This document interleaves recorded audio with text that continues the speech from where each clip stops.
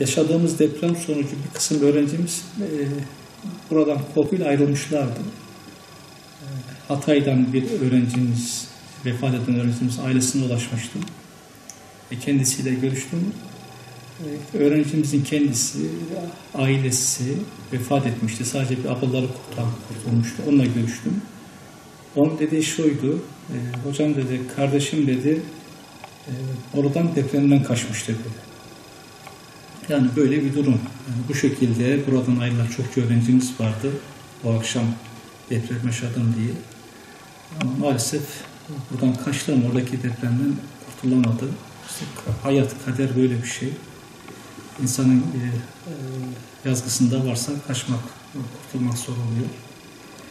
E, Allah böyle bir afeti yaşatmasın. Hakikaten zor acılar. E, bizatihi yerinde ziyaretlerim oldu.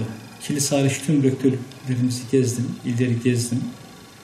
E, şunu gördüm, e, hocalarımızın hiçbir acılarını yaşayamıyorlar. Şimdi depremin e, de, e, işte Hatay Üniversitesi rektörümüz, hocamla beraberiz, rektör yardımcısıyla beraberiz, konuşuyoruz. Rektör hocamın e, işte kardeşi, kardeşinin eşi ve evlatları maalesef enkazdan ölü çıkartılmıştı. Hayatlarını kaybetmişlerdi. Rektör yardımcımızın evladı kaybolmuştu. Kaybetmişti kendisi. Ama hepsi masada bir çalışıyorlardı. İnsanlar acılarını yaşayamıyor. Onu gördük orada. Canla başla çalışıyorlar. Ee, bölgede terk etmemişler.